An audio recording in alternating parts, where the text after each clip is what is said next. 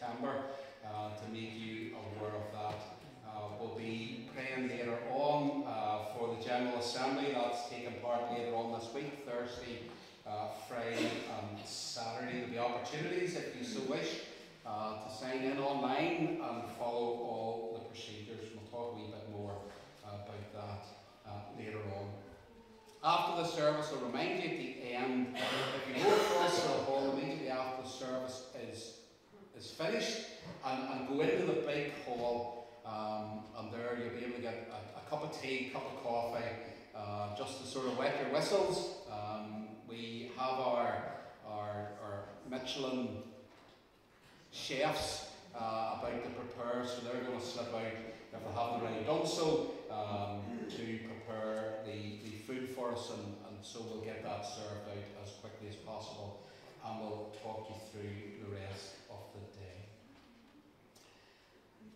Service is slightly different uh, this morning, and so we're going to start with a, a word of prayer and then into a block of praise. Um, one is, is new and it, it's sort of hand in hand we're practicing. Um, but let's, let's pray. Father, we thank you for your goodness, your faithfulness, and your love. We thank you indeed that we have come this morning to praise you, to worship you, and to give you our thanks. So be with us as we lift our hearts to you, lift our voices. Lord, that we will realize you are our strength, our mighty tower. And so we ask, be with us this day. In Jesus' name. Amen. We're going to keep our seats as we sing this first of three, and then we'll stand if you're able to sing uh, the next two. In some ways, they, they take that message of, of how our, our strength is in Christ. He is our focus. And so the first hymn we sing is As Morning Dawns and Evening fades, you inspire songs of praise. Your name is a strong and mighty tower. Keep our seats as we sing this together.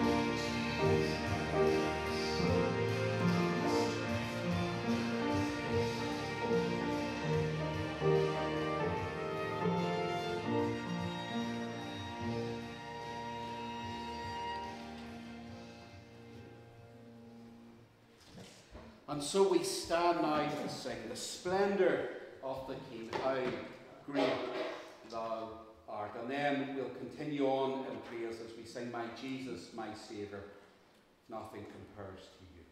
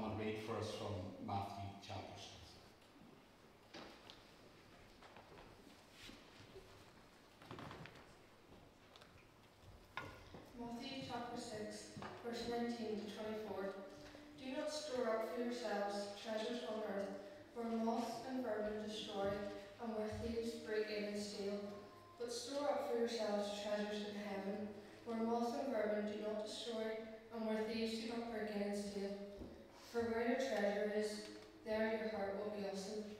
The eye is the lamp of the body. If your eyes are healthy, your whole body will be full of light.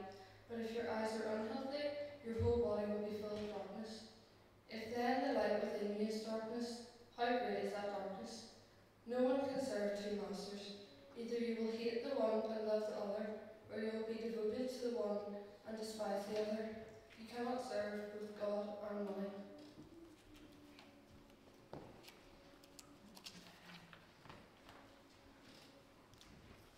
Thank you, Julia. Um, as we've been doing in our family services, we've been thinking about members of the congregation and how we might pray for them. And this time tomorrow, uh, Robert's going to come and share his story.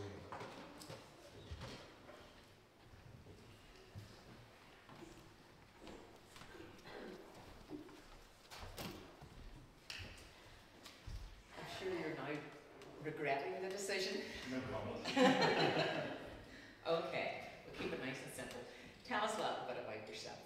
Uh, so, so I'm Robert. Um, I grew up on a farm in Straid, um, so I'm very much a blow into the area. Um, but I live in the village with my wife Christina and our, our two little girls, Sophia and Faye. So tell me, is that the reason why you ended up here?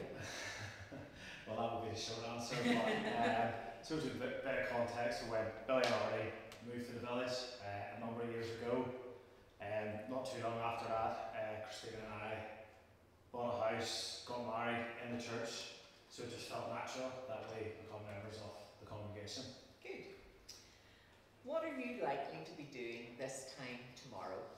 Uh, so, so my work, I'm a, I'm a business manager specialising in, in asset finance for sort of the Ulster Bank NatWest Group. Um, so Monday mornings tend to be a very busy time, sort of planning for the week ahead.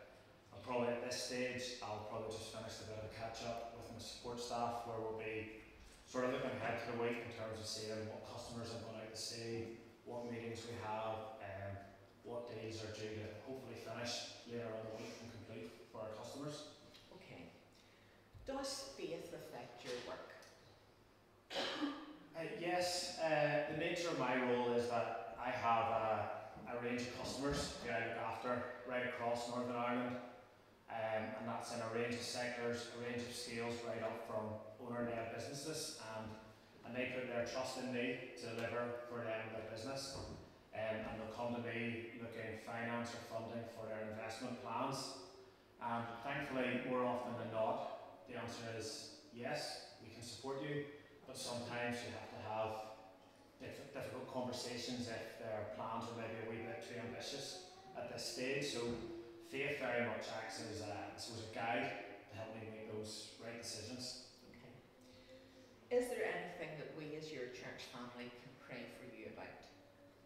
And probably like probably like every every family here this morning, um, we lead really busy lives. Um, I think Christina and I are looking forward to the schools breaking up more than the girls. Um, from September onwards, life can be very hectic. You've got work demands, school, homeworks, and then the girls with their various clubs and activities.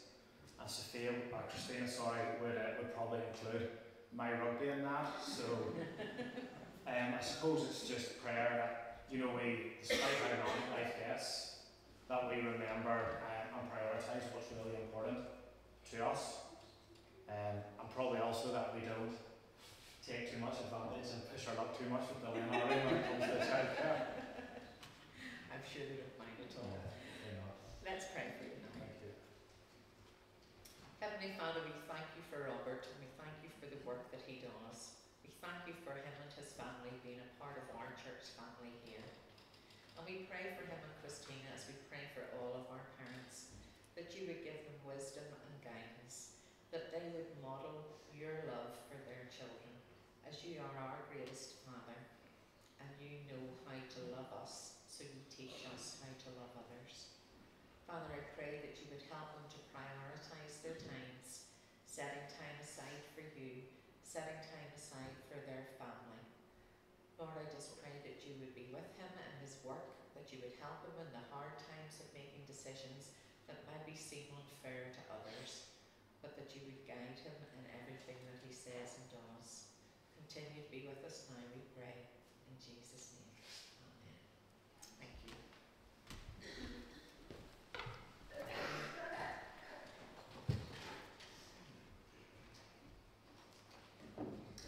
As, as said to you uh, earlier in the service, the General Assembly is on this week.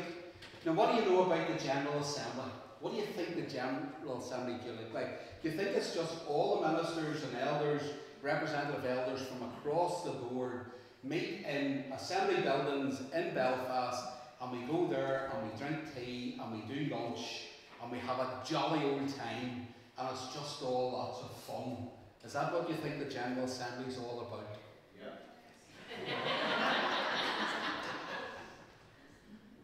I need a rep. you can come along with me this, this year and see how much fun it is. Over the years since I've been involved in PCI, it, it has begun to change and evolve. And, and this year is probably the shortest I think that the Assembly has, has ever been. It, it starts on Thursday. It's Thursday, Friday, and Saturday. But Thursday to Friday is we're starting at 10 o'clock in the morning, and Thursday night is, is a time of worship, so it'll go on to half nine at night.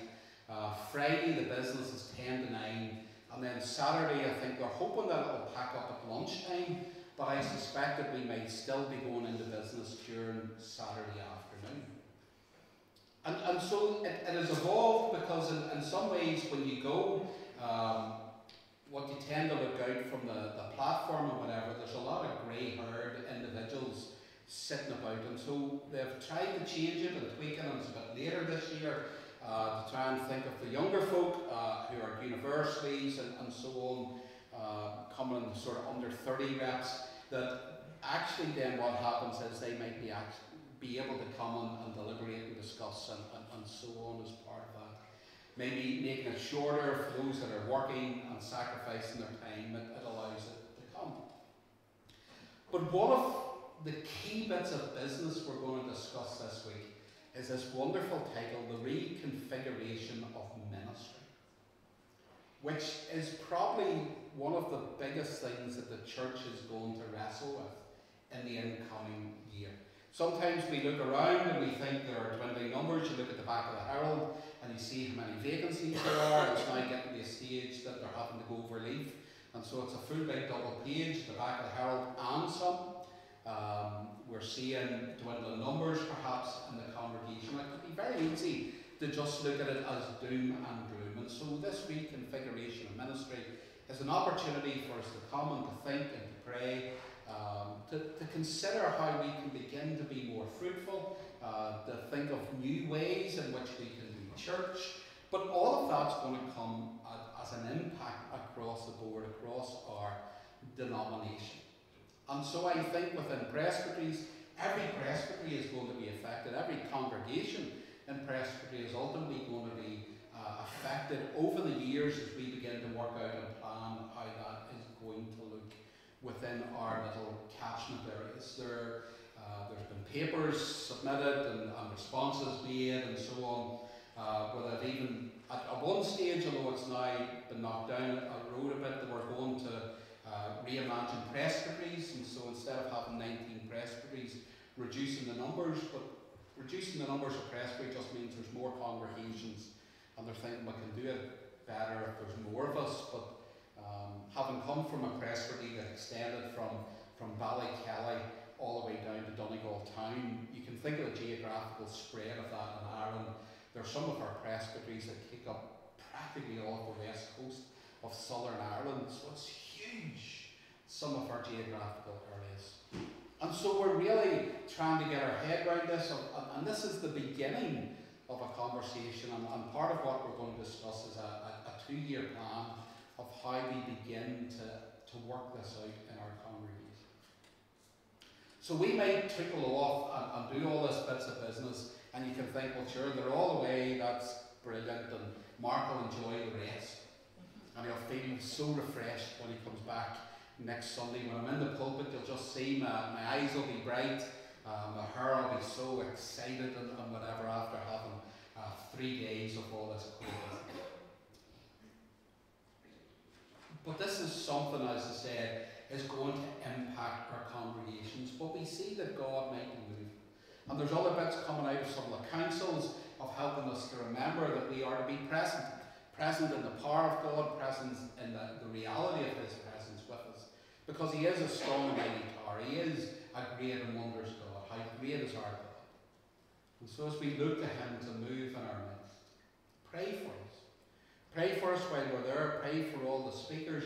Pray that we don't get caught up in, in other stuff that sometimes can distract us.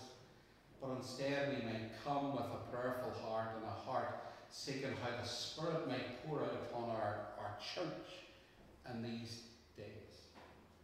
So we're, going to do that now. We're going to pray for the General Assembly, for our new moderator and his wife, um, as we begin to uh, understand perhaps what God is leading us into and through uh, in the days uh, to come.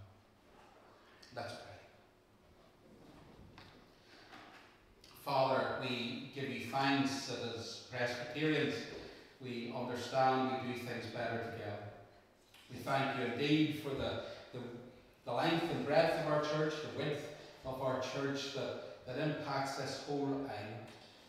But Lord, we cry out that we might be an authentic witness to the gospel, authentic witness to your kingdom.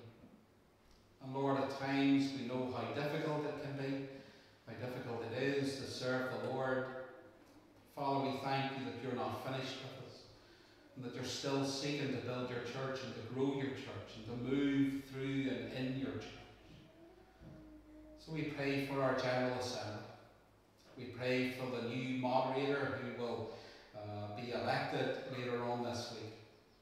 We pray for Richard that you might prepare his heart, uh, that Lord, that he might continue to lead uh, that He may continue to direct and, and help us to understand what's, what's happening, that He may become a figurehead to this new change, this piece of work that we are having to think. Lord, we may direct our plans, we may think of ways in which we're to do this. But Lord, above all, we are seeking your face, that you might help us, that we may listen and discern your voice. That it's not just about ministers and representative elders from across the denomination, across the island, but this is the General Assembly of the Presbyterian Church in Ireland. It is our General Assembly. That we may pray for all the business, that we may pray, Lord, for the direction, that we may pray for your Spirit to pour out upon us in these days, that congregation by congregation may be filled with a fresh infilling of your Spirit. So help us to immerse it in prayer. Be with us in our conversations and our fellowship. Those times when we can catch up with colleagues we haven't seen from last year and share with one another, encourage one another, uh, maybe go away with topics that we might pray for one another, for all the administration, for the busyness of the few days. Lord, give us strength. But above all, Lord, we pray that we might know your presence, we might know your spirit in our conversation. So be with us, we pray. Lord, we think of those who are unwell. We think, Lord, that those who have been bereaved. Lord, draw near to each one, we pray. Continue to help those members of the congregation not with us, that as they may listen later on, they may realise that we have been praying for them, encourage and help. For we ask it through Jesus' precious name. Amen. We stand again to sing. Um, really, the words that um, follow on from our reading in Matthew 6 Seek ye first the kingdom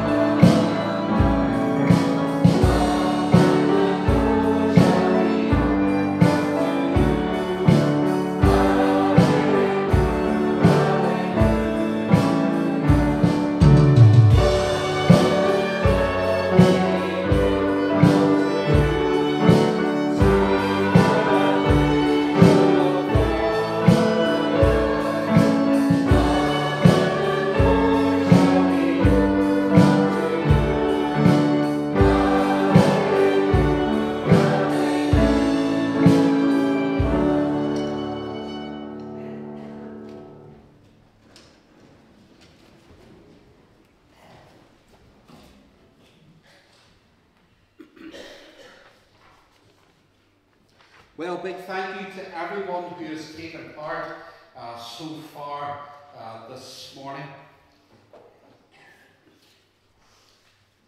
Thinking about those verses, that idea of where our treasure is. It's now summertime, isn't it? We've seen the summer this last week. I think we've also seen the autumn and winter in this past week because there's been a whole mixture of weather that has come our way. But as we come towards the summer, we're maybe starting to think of the summer holidays, of thinking where we might be going, what sort of fun we're going to have. Anybody going somewhere nice over the summer? Who wants to adventure? Where are you going? Edinburgh. Lovely. Bring us back some rock. Okay. Where else are we going? Anywhere nice? Who's going to France? There we go. Yes. James, where are you going? Oh, lovely. That'll be nice. All sorts of things. Who's going to try and get to the beach? Even for a day. Isn't it brilliant? Down onto the beach, just walking along the sand, kicking your shoes and socks off, paddling. Who brings their kettle with them so they can pour it into the water at their feet so that wee bit of the water just is nice and warm and stuff. There's something really wonderful about just walking along the beach, just paddling your feet. All of a sudden, for me, oh, you just feel all the stress levels begin to drop. And as I was younger, one of the things I loved to do was to really just go out and explore rock pools. Who likes the rock pools? Trying to find all the bits and pieces and then bringing, you go there, who, you're looking for little crabs and, and you get all sorts of things. And, and days gone by, we'll have little nets that you put in to try and catch things and you look at them and throw them back in. And it was absolutely brilliant. Who gathers up the seaweed, brings it home and dries it out? We of dulse? No. Anybody had dulse lately? Isn't it good? Absolutely brilliant. Lots of iron in it. Really good for you. Um, although I did hear of somebody who, who went down on the beach and gathered all this, and I don't think it was the right type of seaweed. And they dried it out and they began to eat it, and it was stinking. So maybe don't do that just in the off chance you get the wrong sort of seaweed and it's not good for you. It has all sorts of impacts. But I want to tell you a story about a little boy called, unfortunately, Billy. it, it, just so happens that's the name of the wee boy in the story. It, it's not any particular Billy, if you understand what I mean. so Billy had gone to the beach with his parents. And he had gone and he had been exploring all the way through all those rock pools and stuff and, and doing what little boys do. They were finding all these rocks and then when you lift them up, you get all the little creepy crawlies and stuff that come out from underneath it and he was poking and poking at them and, and doing all sorts of things and, and he was just having so much fun, really exploring it all the way through. It was absolutely brilliant. And as Billy was lifting this rock, and looking under it, he heard a voice shouting, Billy! Behind you! And he stopped and he looked round and there was nobody there and he thought, ah, I'm imagining things and he went on another wee bit and he's going through and then the voice again, Billy! Behind you! And he thought, I wonder. And he turned around and there was a huge big rock. He thought, I wonder what. Wonder if there's something there. So he went over to the rock and he began to push it a wee bit. He began to push it another bit and he thought, right, he'd get in underneath it and he got a bit of wound, and he tried to manhandle it up and he got it up a bit and he, and he got right down on his knees and he shoved it up and stuff. And do you know what was underneath the rock? A what? Another rock. Another rock, no. and it wasn't a crab. It was a key. I thought, I wonder what that's for. Then the voice came again, Billy, behind you. And he thought, but sure, there's nothing behind me except that. The cliff. Billy, behind you.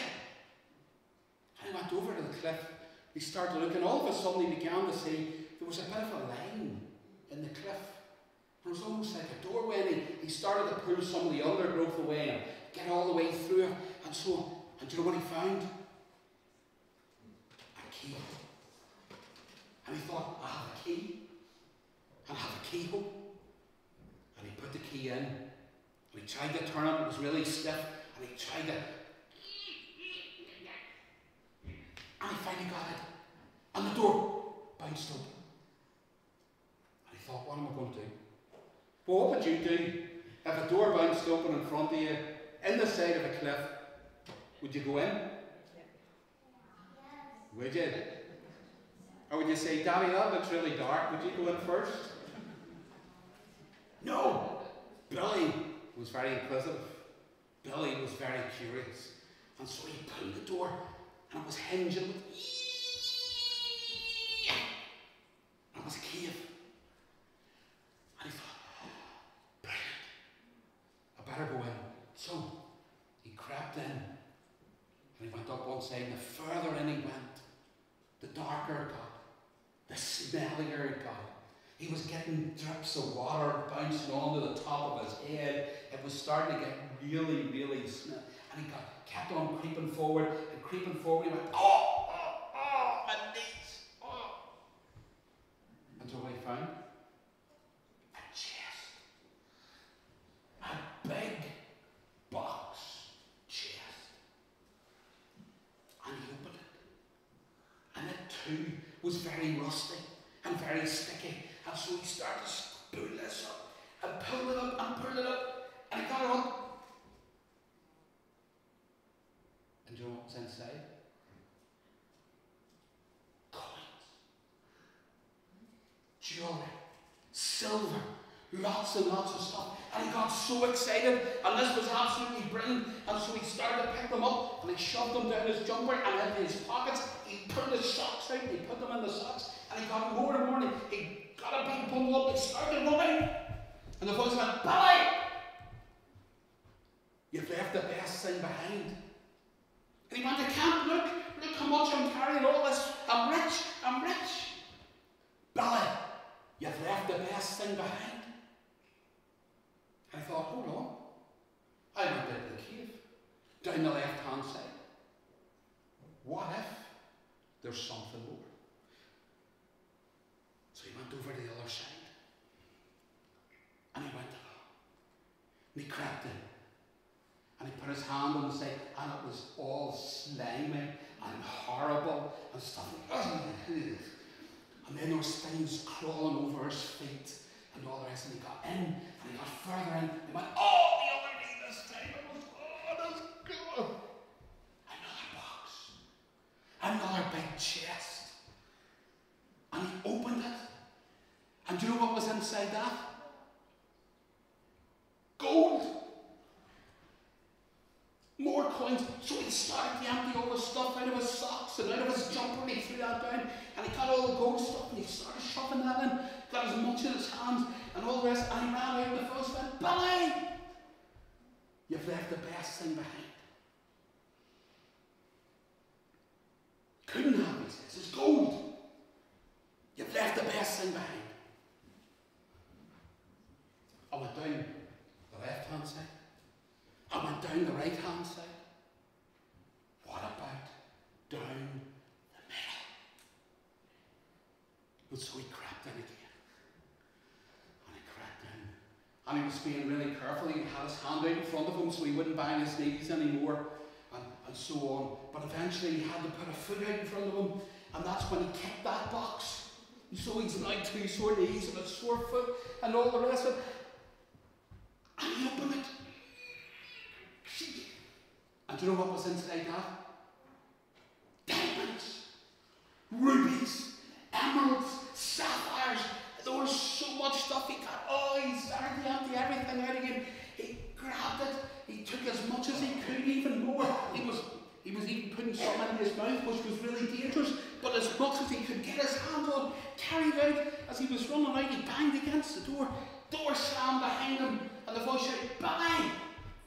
You've left the best thing behind. He says, I can't have. Silver is good, gold is better, jewelry's the best. I'm rich, I've got everything I need. And the voice says, Billy, you've left the best thing behind. Can't have. And the voice said, Billy, where's the key? When he had brought the key, he had taken it out, he had put it in his pocket, and in the midst of throwing everything out and putting everything back in, the key had dropped on the ground. The door was closed, and he wouldn't get back in. Yes, he had stuff, but the door was shut. Finished. Jesus spoke about the best thing.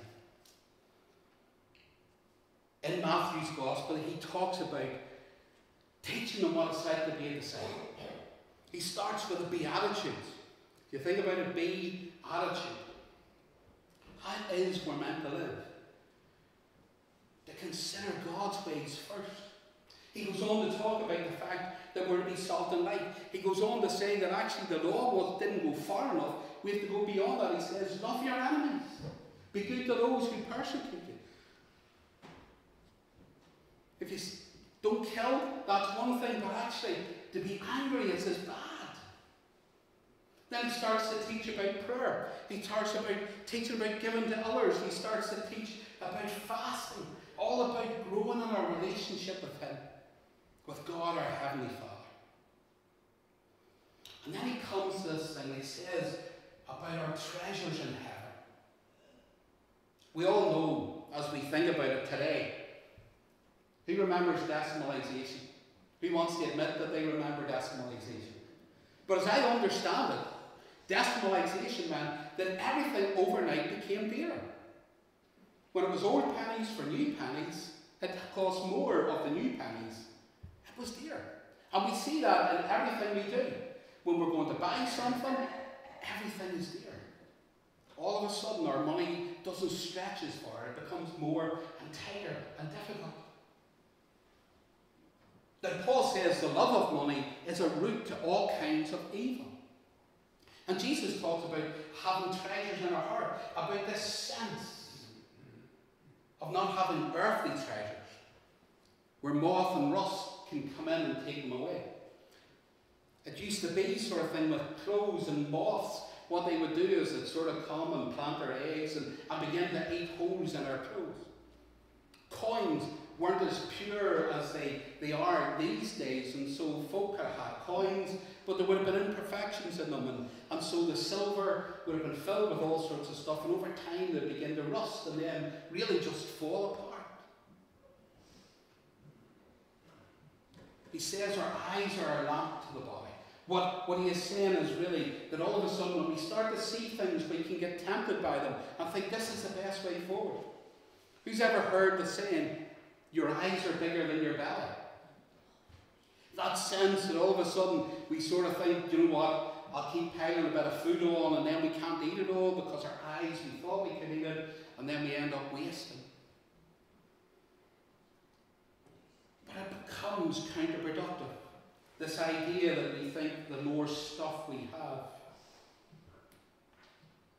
the more we need, the more we'll be satisfied. But actually, what happens is that the more we have, the less satisfied we become, and we keep pushing and pushing. We get so caught up with our time, our talents, our service, just about satisfying ourselves and not about looking to Jesus and what He wants for our lives. We leave the best thing behind, that is Jesus in our hearts. And Jesus continued to speak in, in Matthew's Gospel. He, he talks about we uh, are looking for our best life, and to do that, we put Him first. Peterson translates a, a last bit of the chapter. He says, If you decide for God, living a life of God worship, it follows you don't fuss about what's on the table at meal times or whether the clothes in your closet are in fashion. There's far more to your life than the food you put in your stomach, more to your outer appearance than the clothes you hang on your body. Look at the birds, free and unfettered, not tied down to job descriptions, careless in the care of. And you count far more to Him than birds. Steep your life in God reality, God initiative, God's provision. Don't worry about missing out. You'll find all your everyday human concerns will be met. Jesus was saying our treasure should be in heaven, our treasure should be with Him. The reality of knowing our lives are saved and knowing our lives are entrusted within His care. And once we have that reality, then everything else begins to fall into place. Everything else comes when we put Him first, when we realize He is the key.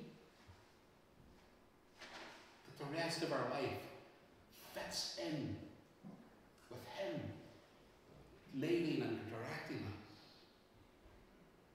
We seek first the kingdom.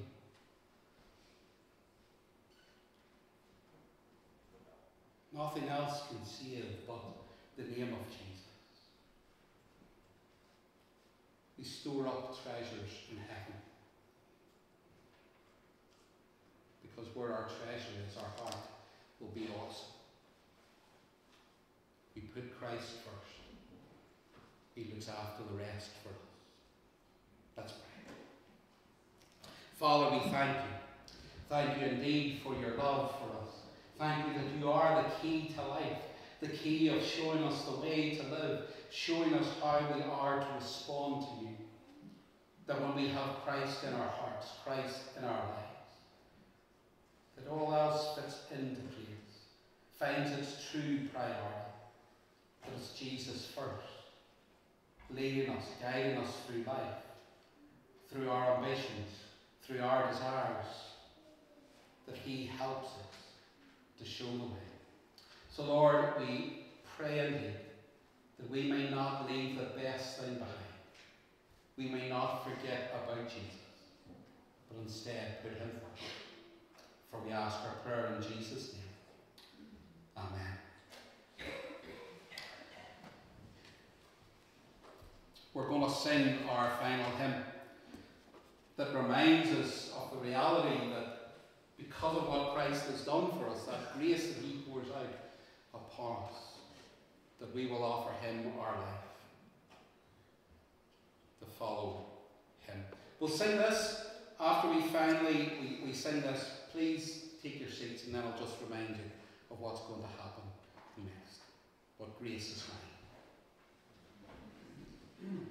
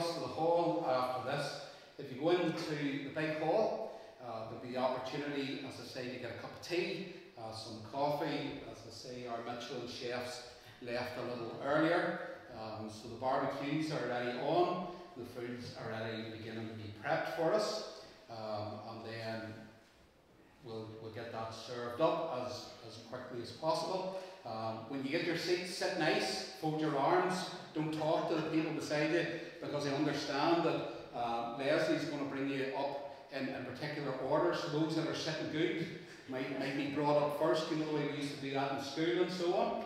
Um, just remind you of that. And then we're going to have a bit of fun and stuff afterwards. I think there's maybe, um, I think actually there's an icebreaker, isn't it? At the very start, so you're maybe not going to be able to sit uh, just quietly uh, and so on. Um, but we'll guide you with that as the time uh, comes. So, let me close with the benediction and with a word of grace uh, for what we're doing. For those that need to go on, may God bless you as you continue to celebrate uh, Father's Day in the light and love of our good and true Heavenly Father. Let's pray.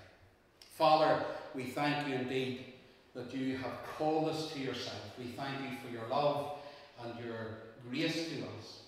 And so we pray that as we share in fellowship together, we thank you for the hands that are providing the food for all the organisation that has gone on behind the scenes. Father, may this be a time of blessing and of sharing with one another. And so we ask indeed your blessing upon us. May the blessing of God Almighty, the Father, the Son, and the Holy Spirit be with you all now and remain with you forevermore.